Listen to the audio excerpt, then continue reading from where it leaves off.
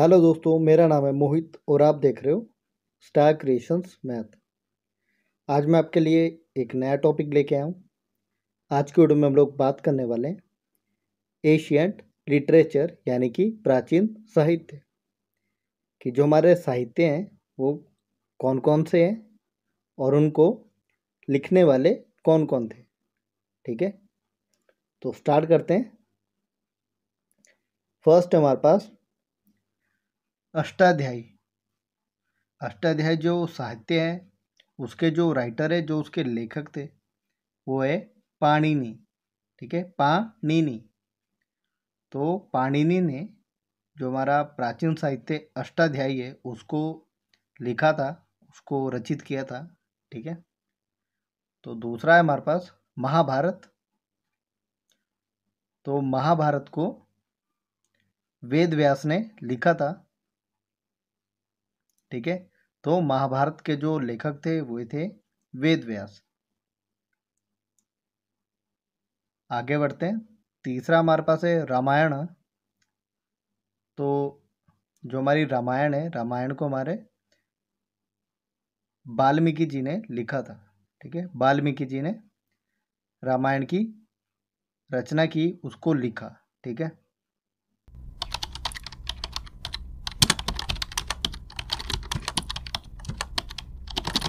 आगे बढ़ते हैं। अगला हमारे पास है, रामचरित मानस। रामचरित मानस तो जो हमारी रामचरित मानस है, उसको तुलसीदास जी ने लिखा है, ठीक है? तुलसीदास जी ने लिखा है। आगे बढ़ते हैं। अगला हमारे पास है, अर्थशास्त्र, ठीक है? जो हमारा मौर्य काल के दौरान लिखा गया था, ठीक है? जो अर्थशास्त्र है, उसके जो लेखक हैं, जो उसके रचयिता हैं, वो हैं चाणक्य। ठीक है? चाणक्य। तो चाणक्य ने अर्थशास्त्र को लिखा है। ठीक है? अगला जो साहित्य हमारे पास, वो है मुद्रा राक्षस और देवी चंद्र गुप्तम। ठीक है? मुद्रा राक्षस और देवी चंद्र गुप्तम प्ले। प्ले यानी कि जो नाटक होता है, ठीक है? तो इसकी जो रचना है, जो उसके लेखक है, वो थे, या वो है हमारे पास, विशाखा दत्त, ठीक है? विशाखा दत्त। तो विशाखा दत्त ने मुद्रा राक्षस और देवी चंद्र गुप्तम प्ले, ठीक है? इसको लिखा। अगला है हमारे पास, बुद्ध चरित और सोदरादन ठीक है?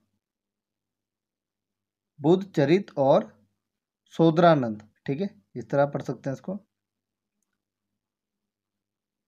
अगला हमारे पास बुद्ध चरित और सौंदरानंद। सौंदरानंद, ठीक है? सारी पुत्र प्राकरण। तो ये कंप्लीट एक नाम है कि बुद्ध चरित्र, कि बुद्ध चरित और सौंदरानंद। सारीपुत्र प्राकरण।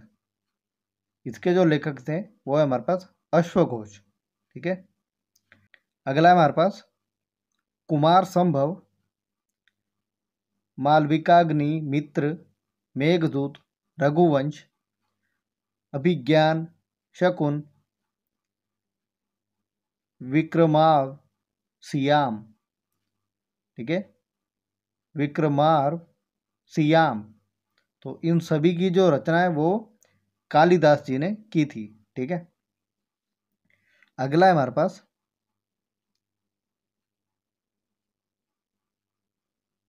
प्रया प्रमिता सूत्र प्रया प्रमिता सूत्र और माध्यमिक सूत्र, ठीक है?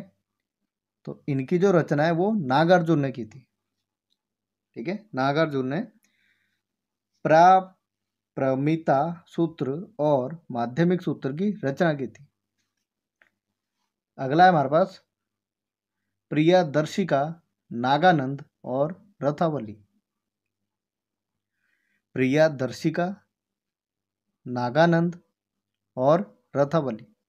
इसकी जो रचना है वो हर्षवर्धन ने की थी। अगला है हमारे पास बृहंत संहिता और पंच सिद्धांतिका। वृहंत, संहिता और पंच सिद्धांतिका।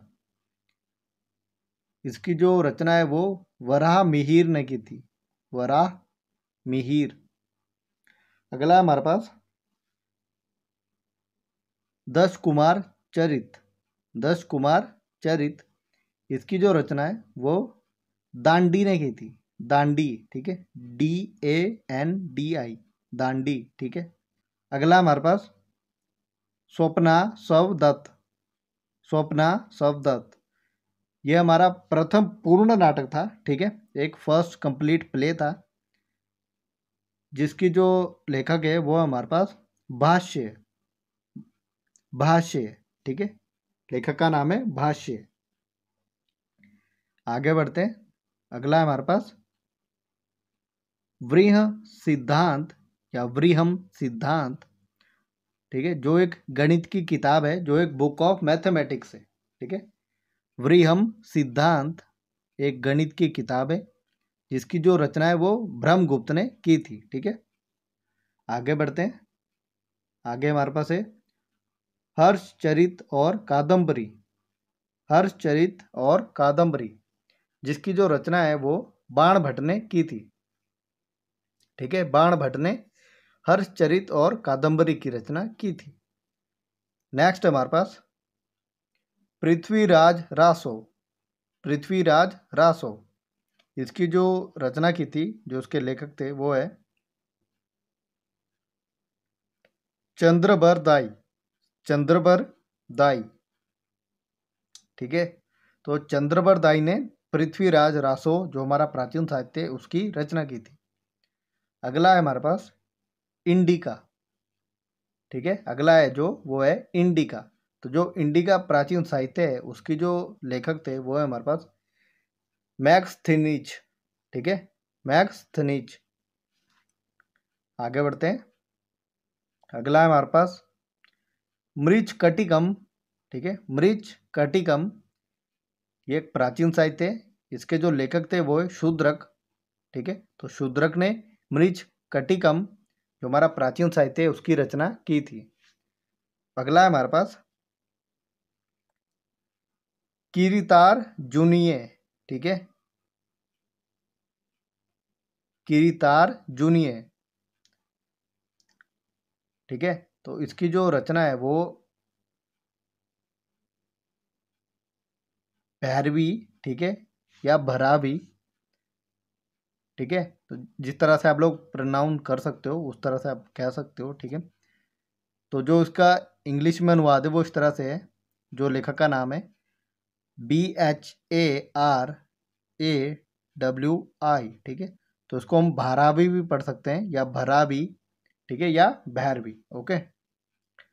तो उन्होंने किरातार जूनिये इस, ये जो प्राचीन साहित्य है, इसकी जो रचना है, वो की थी, ठीक है? अगला हमारे पास, जो बहुत ही ज़्यादा प्रसिद्ध है, बहुत ही ज़्यादा लोकप्रिय है, ठीक है? पंचतंत्र। अब ऐसा कोई भी नहीं होगा जिसने बचपन में पंचतंत्र की कहानियाँ हैं, वो सुनी ना हो, पढ़ी ना हो, या जो हमारा दूरदर्शन है, उसके ऊपर कभी देखी ना हो, ठीक है? जो हम नाइन्टीज़ वाले किड है, हमने तो सबसे ज़्यादा पंचतंत्र की कहानियाँ ही देखी है। क्योंकि उस time black and white TVs होते थे और डी डी वन ही आता था, दूरदर्शन ही आता था, ठीक है? तो उस पर पंचतंत्र की कहानियाँ भी दिखाई जाती थी, ठीक है? तो जो पंचतंत्र है, उसकी जो रचना है, वो विष्णु शर्मा ने की थी, ठीक है? विष्णु शर्मा, ठीक है? तो इन चीज़ों को ध्यान भी रखो, ये कम्पिटिटिव एग्ज़ाम में आते हैं, कई बार पूछा भी जाता है। ठीक है? तो बीएड वाले जो स्टूडेंट है, वो तो थोड़ा ध्यान से देखें, क्योंकि ये पूछा ही जाता है। ओके, आगे बढ़ते हैं।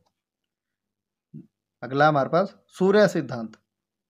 तो जो सूर्य सिद्धांत है, उसके जो लेखक थे, वो है आर्यभट्ट ठीक है? आर्यभट्ट ने सूर्य सिद्धांत को लिखा था, उसकी रचना की थी, ठीक है? अगला है हमारे पास, प्रयाग प्रशस्ति। प्रयाग प्रशस्ति इसकी जो रचना है वो हरिसेन ने की थी, ठीक है? तो हरिसेन ने प्रयाग प्रशस्ति की रचना की थी, या वो उसके लेखक थे। अगला है हमारे पास वृहत कथा मंजरी वृहत कथा मंजरी। इसके जो लेखक थे वो हमारे पास क्षेमेंद्र क्षेमेंद्र, ठीक है? अगला हमारे पास कामसूत्र तो जो कामसूत्र है, उसके जो लेखक थे, वो है हमारे पास। वात्स्यायन ठीक है? वात्स्यायन अगला हमारे पास वासव दत्त ठीक है? वासव दत्त इसके जो लेखक थे, वो हमारे पास, सुबंधर, ठीक है? सुबंधर, या सुबेंदर, ठीक है? तो अगला है हमारे पास, काव्य मीमांसा ठीक है, काव्य मीमांसा, इसके जो लेखक हैं वो हमारे पास है राजशेखर। तो राजशेखर ने जो हमारा प्राचीन साहित्य काव्य मीमांसा, उसकी रचना की, उसको लिखा, ठीक है। अगला है हमारे पास पृथ्वीराज विजय पृथ्वीराज विजय। तो इस प्राचीन साहित्य के जो लेखक थे वो हमारे पास जयनक ठीक है। तो जयनक ने पृथ्वीराज विजय, जो हमारा प्राचीन साहित्य उसको लिखा, उसकी रचना की। अगला है हमारे पास नंबर ट्वेंटी एट पे। राज तरिंगणी ठीक है? राज तरिंगणी तो इस प्राचीन साहित्य की जो लेखक हैं, वो हमारे पास कलहन, ठीक है? तो कलहन ने राज तरिंगणी की रचना की, या वो उसके लेखक थे। अगला है हमारे पास गीत गोविंद। गीत गोविंद। तो इस प्राचीन साहित्य की रचना करने वाले जो लेखक थे वो है जयदेव, ठीक है? तो जयदेव ने गीत गोविंद, जो हमारा प्राचीन साहित्य है, उसकी रचना की। अगला है, कीर्ति कौमुदी कीर्ति कौमुदी। इस प्राचीन साहित्य के जो लेखक थे, वो है हमारे पास सोमदेव, ठीक है? सोमदेव। अगला हमारे पास, कथा सौत सागर, कथा सौत सागर। तो इसके भी जो लेखक है वो सोमदेव भी हैं, ठीक है? तो सोमदेव का नाम इसमें दो बार ये भी आ चुका है, एक बार शायद और आएगा भी, ठीक है? तो आगे बढ़ते हैं अभी। अगला हमारे पास है कल्प सूत्र ठीक है? कल्प सूत्र तो जो कल्प सूत्र है, उसके जो लेखक थे वो हमारे पास भद्रबाहु, ठीक है? भद्र बाहु तो भद्रबाहु ने कल्प सूत्र की रचना की, वो उसके लेखक थे। अगला हमारे पास योग सूत्र। तो योग सूत्र हमारे पतंजलि ने दिया था, ठीक है? तो ये दो चीज़ें तो आप ध्यान में रखना ही रखना कि एक है हमारा पंचतंत्र और एक है योग सूत्र, ठीक है? क्योंकि दोनों ये बहुत ज़्यादा फ़ेमस है, बहुत ही ज़्यादा प्रसिद्ध हैं, ठीक है? तो जो पंचतंत्र है, वो तो हमारे विष्णु शर्मा जी ने दिया, ठीक है? उसकी रचना उन्होंने की है। और जो हमारा योग सूत्र है, योग सूत्र पतंजलि ने दिया है, ठीक है? तो पतंजलि वैसे ही बहुत ज़्यादा फ़ेमस है। आपको उसका नाम एकदम से याद आ जाएगा कि योग को आप पतंजलि से रिलेट कर सकते हो, ठीक है? तो ये एक तरह से ट्रिक भी होगी, आपके लिए एग्ज़ाम में बहुत ज़्यादा यूज़फुल होगी। तो अगला हमारे पास कविराज मार्ग कविराज मार्ग तो इस प्राचीन साहित्य के जो लेखक थे, वो है अमोघ वर्षा, ठीक है? अमोघ वर्षा। अगला हमारे पास नीति वाक्य अमृत नीति वाक्य अमृत। इसके जो लेखक है, वो भी सोमदेव है, ठीक है? तो सोमदेव ने यहाँ पे तीन हमारे प्राचीन जो साहित्य वो लिखे हैं, ठीक है? पहला था उनका कीर्ति कौमुदी, फिर था कथा सौत सागर, और तीसरा था ये नीति वाक्य अमृत, ओके? तो सोमदेव ने तीन बड़े हमारे पास जो प्राचीन साहित्य वो लिखे हैं, ठीक है? और जो लास्ट है हमारे पास जो लास्ट प्राचीन साहित्य मेरी लिस्ट में यहाँ पे मेरे पास दिया है, वो है मनु समृति। मनु समृति तो इसके जो लेखक है वो है मनु, ठीक है? तो ये थे हमारे पास छत्तीस महत्वपूर्ण प्राचीन साहित्य, ठीक है? यानी कि thirty six important ancient literature with their writers okay तो ऐसे ही मैं उम्मीद करता हूँ कि आपको ये वाली वीडियो यूज़फुल लगी होगी और आपको बहुत कुछ सीखने को मिला होगा। और आपके जो कम्पिटिटिव एग्ज़ाम है, उसमें आपको हेल्प मिलेगी। तो सबसे पहले तो उस वीडियो को पूरा देखने की ट्राई करना, ठीक है? अगर एक बार में आपको समझ नहीं आएगा तो दो बार देख लेना, तीन बार देख लेना, बट इसको देख ज़रूर लेना, ठीक है? क्योंकि ये आपके बेनिफिट के लिए बनाई जा रही है, ओके?